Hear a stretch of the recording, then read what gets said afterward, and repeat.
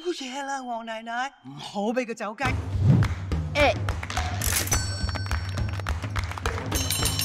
诶，公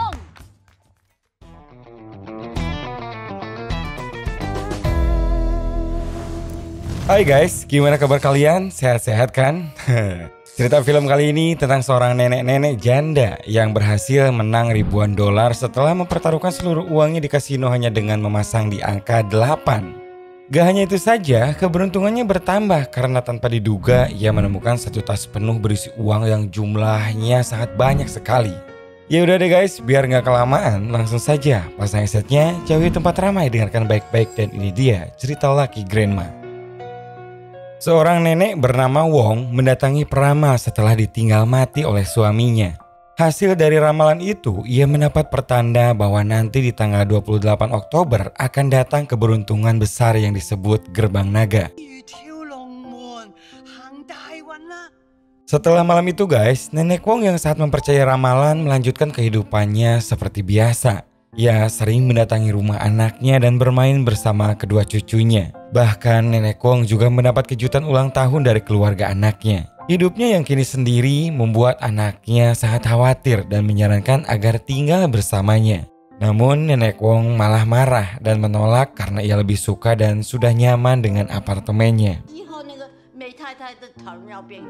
Hari demi hari berlalu begitu cepat hingga tanpa disadari tibalah di tanggal 28. Di hari itu juga nenek Wong yang sangat mempercayai ramalan sebelumnya pergi ke bank untuk mengambil dan menjudikan seluruh uang tabungannya yang berjumlah 1727 dolar.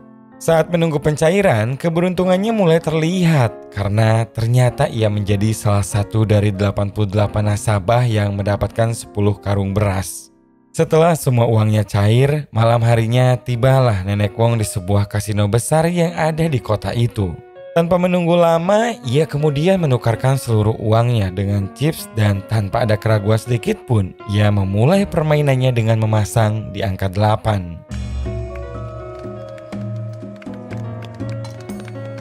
Setelah kemenangan pertamanya, Nenek Wong melanjutkan kembali taruhan keduanya di angka 8. Hingga tanpa disadari, chipsnya yang tadinya setumpuk kini sudah menjadi dua tumpuk. Untuk terakhir kalinya, Nenek Wong meletakkan seluruh chipsnya pada angka 8 lagi tanpa ragu. Ia bahkan tak mendengarkan saran dari orang lain karena saat itu ia mempertaruhkan chips seharga ribuan dolar. Keberuntungan masih berpihak karena yang terjadi ia berhasil menggandakan seluruh uangnya. Kemenangan itu membawa nenek Wong pindah ke meja yang lebih besar dan ia selalu memenangkan permainan. Tak terhitung sudah berapa banyak chip yang berhasil ia dapatkan hanya dengan mengandalkan angka 8 entah itu di permainan mesin ataupun permainan dadu. Semuanya selalu berhasil ia menangkan di angka keramat. Puncaknya, Nenek Wong bermain poker bersama orang-orang kaya dengan minimal taruhan ratusan sampai ribuan dolar. Seperti permainan-permainan sebelumnya, ia selalu menang di angka 8 dan mampu membuat lawan-lawannya keheranan. Namun ternyata tanpa ia sadari, keberuntungannya habis saat Nenek Wong mempertaruhkan seluruh uang yang ia punya. Angka keramat yang berhasil membuatnya kaya raya ternyata tidak keluar dan alhasil seluruh uang yang ia miliki habis seketika. Kekalahan itu membuatnya pulang dengan raut muka yang sangat kecewa. Bahkan saat di dalam bis saat semua orang tertidur, ia tampak tak bisa tenang karena masih tak percaya dengan kekalahannya. Kesialannya ternyata belum berakhir karena tanpa diduga teman sebangkunya yang entah siapa tiba-tiba meninggal karena serangan jantung. Si nenek jelas makin bingung dong dengan apa yang harus ia lakukan. Nah saat itulah guys tas milik orang itu terjatuh dan setelah dicek ternyata berisi uang yang sangat banyak. Karena si orang itu punya tato naga akhirnya nenek Wong membawa uang tersebut turun karena ia percaya bahwa itu adalah keberuntungannya. Sesampainya di rumah tas itu kemudian ia buka dan nenek Wong semalaman tak bisa tidur memikirkan apa yang harus dilakukan. Esoknya, Nenek Wong memutuskan untuk membelanjakan uang temuannya. Membeli apa pun yang ia inginkan, bahkan membeli lampu hias yang harganya sangat mahal. Sepulangnya dari berbelanja, rumahnya kedatangan dua orang asing yang bertanya soal Tuan Lin yang meninggal di bus malam karena serangan jantung.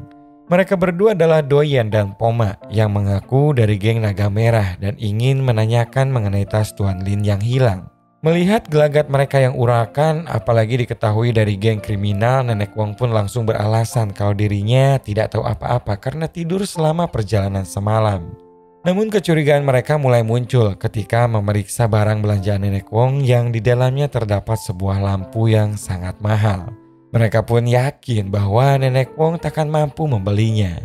Dan sekali lagi dengan tegas Nenek Wong mengelak kalau lampu itu ia beli dengan harga diskon. Menyadari kalau dirinya dalam bahaya, akhirnya Nenek Wong pergi mencari jasa perlindungan dari sebuah geng bernama Zongliang. Ia kemudian bertemu dengan seorang yang bernama Lao Sei dan menjelaskan kalau ia butuh perlindungan dari kejaran anggota Naga Merah. Lao Sei tentu saja kaget awalnya dan bertanya mengapa bisa seorang nenek-nenek berurusan dengan geng sebesar Naga Merah. Nenek Wong hanya menjawab kalau ia tak tahu alasannya. Setelah proses tawar-menawar selesai, Lao Sei pun sepakat dengan harga 2000 dolar dan memberikan seorang bodyguard berbadan besar bernama Big Pong. Sejak saat itulah guys, semua aktivitas Nenek Wong selalu dikawal dan tak pernah lepas dari pengawasan Big Pong. Dengan adanya bodyguard, ternyata Poma dan Doyen juga tak berani sembarangan mendatangi Nenek Wong. Semua orang yang ingin bertemu dengan si nenek selalu Big Pong teliti. Bahkan tetangga Nenek Wong yang berniat memarahi cucunya karena berisik harus mundur karena takut dengan Big Pong. Nah, beberapa hari kemudian guys, saat di salon, Nenek Wong meminta Big Pong untuk membelikan teh dan sialnya kesempatan itu digunakan oleh Doyen dan Poma. Mereka kemudian bertanya mengapa Nenek Wong menyewa seorang bodyguard dari Zongliang. Mereka berdua tentu semakin curiga dan kesal ketika mendengar Nenek Wong mengelak dan beralasan yang tidak jelas. Beruntung guys, saat itu Big Pong segera datang dan perkelahian pun terjadi dua lawan satu. Tanpa ada rasa takut sedikit pun, Big Pong terus melawan dan berhasil menjatuhkan mereka satu persatu. Sampai pada akhirnya mereka pun kewalahan dan memilih pergi.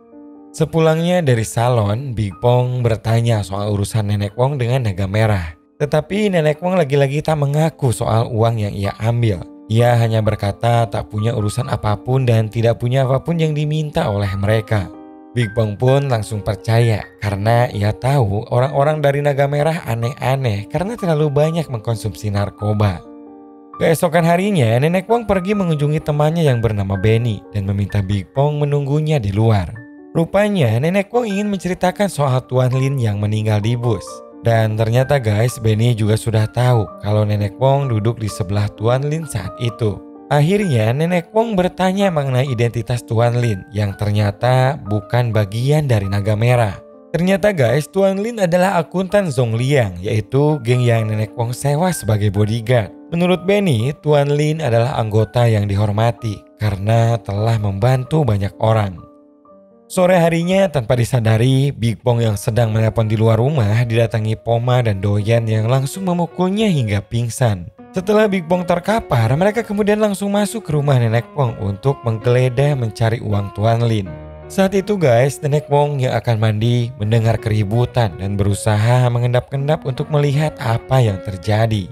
Tanpa berpikir panjang, ia kemudian mengambil wajan untuk dipukulkan pada Doyen yang sedang lengah ketika mengacak-ngacak kamar Nenek Wong. Poma yang melihat hal itu kemudian berusaha membantu dan menyerang balik. Sekuat tenaga, Nenek Wong berusaha melawan dan berhasil meraih semprotan merica. Dan saat itulah Big Pong datang dan memukul Poma hingga terjatuh dan membentur sisi meja. Benturan itu ternyata membuat Poma mati seketika, sementara Doyen yang tadi di kamar telah kabur lewat jendela. Mereka berdua pun bingung, Big Pong juga menjadi panik karena nyatanya ia belum pernah membunuh orang sebelumnya. Akhirnya, Nenek Wong menyusun beberapa plastik hitam hingga cukup untuk membungkus mayat Poma. Kemudian mayat itu dibuang dengan bantuan Big Pong ke tempat sampah yang berada di gang. Setelah membuang mayat tersebut, Big Pong masih sangat shock dan ingin memberitahu atasannya bernama Sister Fong karena takut masalah akan menjadi semakin runyam. Namun Nenek Wong menolak dan berusaha menenangkan Big Pong untuk tidak melaporkannya. Setelah kejadian malam itu, hidup Nenek Wong dan Big Pong tak lagi sama karena mereka harus terus-menerus dihantui perasaan bersalah. Beberapa hari kemudian, ia pun mengecek tempat sampah dan tidak menemukan bungkusan mayat tersebut di sana. Nenek Wong kemudian mencoba untuk hidup seperti biasanya. Tetapi tak lama kemudian, Sister Fong berhasil menemukannya saat berada di sauna kolam renang. Sister Fong yang merupakan ketua Zong Liang sudah mengetahui soal Big Pong yang membunuh salah satu anggota naga merah dan ia cukup terusik dengan hal tersebut. Namun untungnya Sister Fong tidak ada kecurigaan mengenai hubungannya dengan kematian Tuan Lin. Karena kejadian pembunuhan itulah guys, ia memperingatkan agar nenek Wong tak membuat masalah lebih rumit.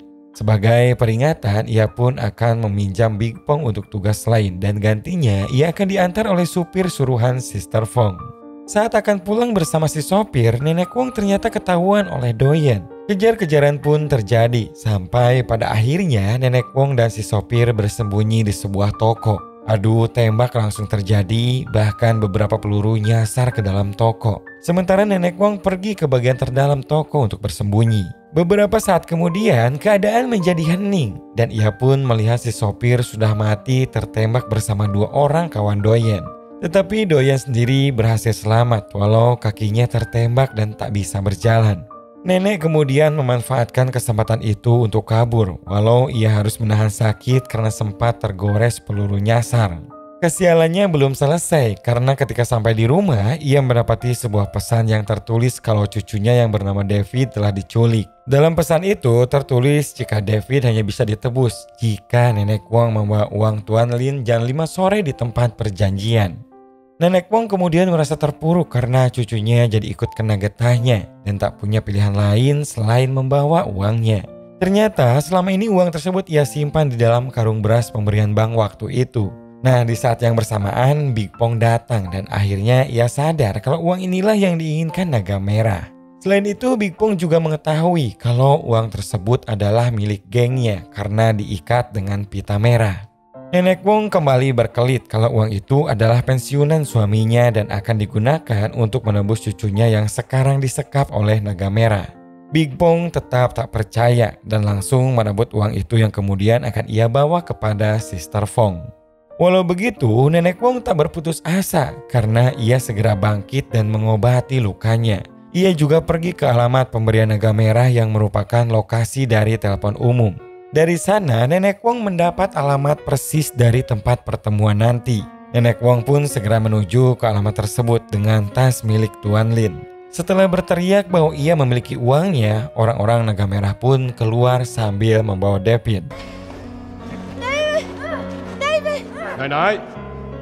Mereka ingin Nenek Wong meletakkan tasnya, baru David pun dilepaskan. Tetapi Nenek Wong ingin sebaliknya dan berusaha untuk tetap tenang. Hal itu membuat pihak naga merah marah dan mengancam akan membunuh David. Hingga akhirnya tak ada pilihan lain, nenek Wong pun menyerahkan tas tersebut. Setelah dibuka guys, ternyata tas itu berisi robekan kertas dan membuat pihak naga merah merasa dipermainkan. Tetapi nenek Wong menganggap itu adalah bukti bahwa ia tak memiliki uangnya. Walau begitu, ia ingin David dilepaskan dan dibayar dengan kerja kerasnya pada naga merah. Nenek Wong bersedia untuk melakukan apa pun asalkan David cucunya dilepaskan. Tetapi karena usianya sudah terlalu tua, mereka pun tak menerima penawaran tersebut. Nenek Wong sampai bersujud di hadapan para naga merah agar David dilepaskan. Tetapi mereka tetap tak mau karena tak berhasil mendapatkan uangnya. Akhirnya Nenek Wong pun berkata bahwa ia tidak memiliki uang milik Sister Fong. Ucapan itu membuat pihak naga merah merasa semakin dipermainkan karena ternyata nenek Wong mengetahui asal uang tersebut. Tetapi tak lama kemudian pihak Zhong Liang datang menyerang pihak naga merah dan membuat mereka kabur. Rupanya Big Pong telah menyerahkan uang tersebut pada Sister Fong dan menceritakan kisah Nenek Wong juga. Sister Fong pun bersedia membantu Nenek Wong mendapatkan David kembali. Sayangnya ketika nenek Wong berusaha melepaskan David, ia pun tertembak sekali lagi dan membuatnya terjatuh. David segera memanggil neneknya dan berusaha agar dilepaskan.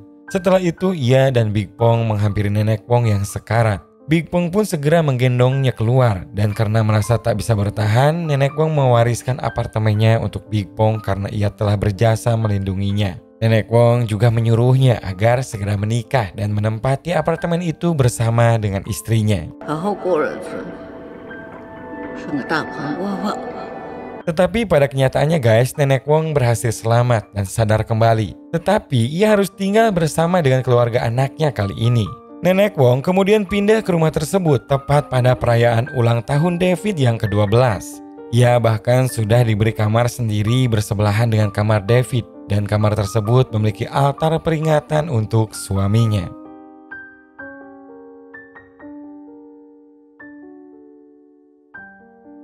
Dari film ini kita belajar untuk tidak menilai sesuatu dari satu sudut pandang saja. Terkadang apa yang tidak kita sadari adalah sesuatu yang perlu kita syukuri. Banyak hal dalam kehidupan yang patut disyukuri, tetapi kita terlalu fokus pada kekurangan dalam hidup hingga tak menyadarinya atau tak mau mengakui keberkahan tersebut. Hal-hal remeh seperti keluarga yang pengertian, hidup yang tentram, atau bahkan sekedar bernapas perlu kita syukuri karena hal tersebut adalah berkah dalam hidup.